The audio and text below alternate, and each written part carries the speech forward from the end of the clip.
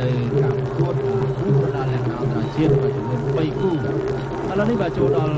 តាមរបស់ព្រះរាជាណាចក្រកម្ពុជាអេបូថងបាទបងស្មាគមក្លាផ្ដាល់បញ្ជាមណ្ឌលធ្វើកីឡានេះកងយុទ្ធសាស្ត្របាទសិលសំលេងរបស់តាតោមួយទៀតមកមកឆ្នាំពីទៀតបាទជាលក្ខណៈមកពីសាស្ត្រកាល័យ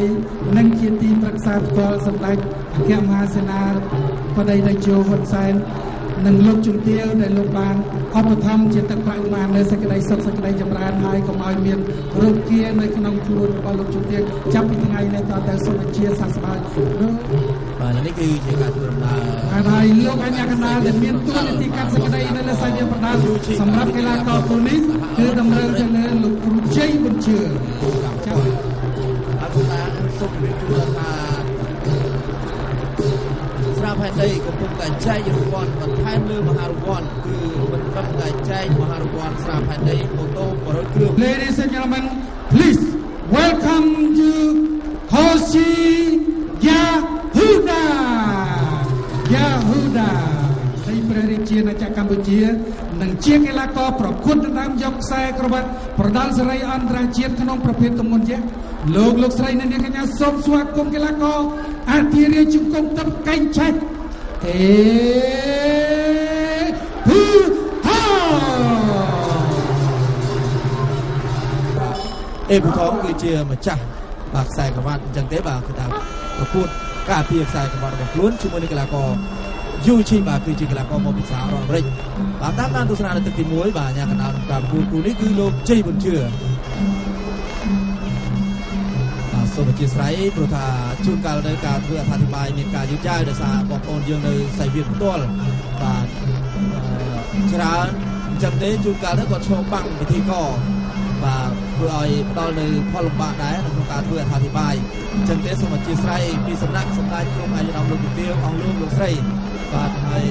នឹងបងប្អូនប្រជាពលរដ្ឋនៅទូទាំងព្រះរាជាណាចក្រកម្ពុជាទាំងអស់បាទអធិស្ឋានដល់ខ្ញុំបាទហើយនឹងលោកថៃអំឡុងព្រោះថាជួនកាលទៅធ្វើអត្ថាធិប្បាយមិនទាន់ឬក៏បាទគេថាធ្វើអត្ថាធិប្បាយមិនត្រូវដោយប្រការណាមួយព្រោះថាបងប្អូនយើងឈរបាំងបាទពិធីករនៅពេលនេះពិធីករក៏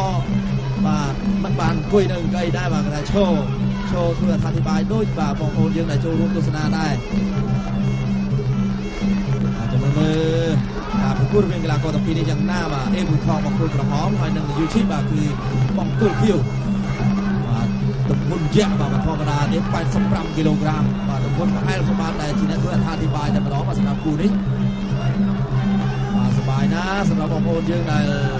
បាទកំពុងតែតាមដានទស្សនានៅទាំងបាទសពុតសនៅមុខព្រះបរមរាជវាំងតែម្ដងយ៉ាងច្រើនកុះកហើយបន្ទាប់ពីការទស្សនានៅការប្រកួតកីឡាប្រដាល់បាទគឺថានឹងមានការបញ្ចាំងខ្សែភាពយន្តខ្មែរហើយនិងភាពយន្តហុងកុងបាទជូនទស្សនាផងដែរគឺថាពេញ4ថ្ងៃតែម្ដងនៅមុខព្រះបរមរាជវាំងហ្នឹងបាទគឺថាទាំងសពុតសពីរផ្ទាំងបាទគឺថាមានទាំងអូយ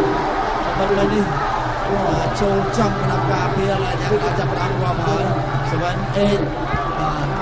ដល់10ទៅហើយមិនអាចបន្តការប្រកួតកើតដូច្នេះកីឡាករអេប៊ូថងបានទទួលជ័យជំនះនៅក្នុងការប្រកួតទឹកទី1តែម្ដងហើយបាញ់មិញនេះក៏ភ្លេចជម្រាបជូនដែរតាមទៅទៅក្រុមហ៊ុនស្រាផែនដីក៏មានរង្វាន់លើកទឹកចិត្តផងដែរជូនដល់កីឡាករអេប៊ូថង នៅក្នុងការប្រកួតនេះប្រកួតគូប្រកួតឲ្យសន្លប់នៅក្នុងចន្លោះពីទឹកទី1ដល់ទឹកទី3អញ្ចឹងទេអូអេប៊ូថងបាទត្រូវបានទទួលនៅប្រាក់រង្វាន់លើកទឹកចិត្តពីស្រាផែនដីលើទឹកប្រាក់ចំនួន1លានរៀលផងបាទហើយបងកីឡាករអេពុថងក៏ទទួលបាននៅការឧបត្ថម្ភពីក្រុមហ៊ុនស្រាផែនដីរសជាតិមាននៅជ្រៅ1លានរៀលសូមអបអរសាទរដល់កីឡាករអេពុថងបាទហើយឡើយជើងខ្លួនឯងហ្នឹងក៏មានបញ្ហាខ្លាំងណាស់ដែរបាទ ជាជំនះបាទក្នុងការក្នុងការបានណាស់បាទសូមអបអរសាទរមួយទៀតទៀតណាបាទជាបន្តក៏សូមគណៈកម្មការរៀបចំការប្រកួតបន្តនៅការប្រកួតបាទគូចុងក្រោយរវាងកីឡាករបាទមុខជើងរបស់កីឡាករអេប៊ូថងហើយអេប៊ូថងខ្លួនឯងហ្នឹងក៏ឈឺ